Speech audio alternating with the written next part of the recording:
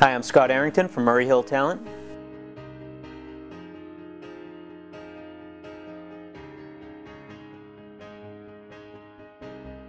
We have enormous music libraries all in MP3 format on laptops. Um, you know, the, the days of, of big crates of CDs and stuff like that are kind of behind us.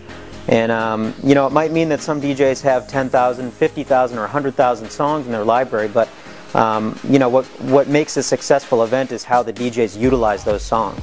You know, some crowds are, are uh, more geared towards rock and roll, and some crowds are geared toward hip hop. Some are oldies, some are all new music. Um, it really comes down to the DJ's ability to utilize the right songs at the right events.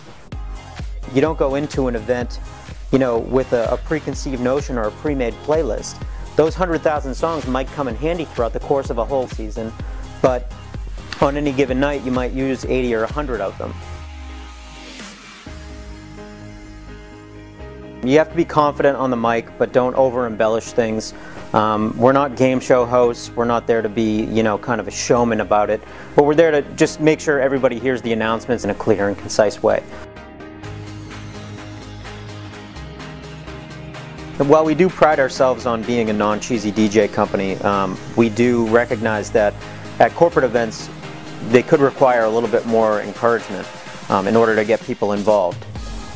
There's definitely a fine line between being cheesy and making people feel comfortable enough to get up. There's no silly antics. We're not there to kind of lure people onto the dance floor or make them feel uncomfortable.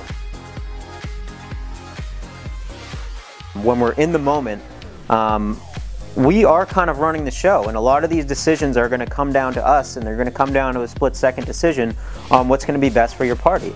Um, we're trying to keep things going, we're trying to keep an energy level up. We are really in the driver's seat when it comes to that kind of thing and you have to feel comfortable enough to trust us in that role and I think a lot of that comes down to knowing the DJ that you're going to be hanging out with for the night.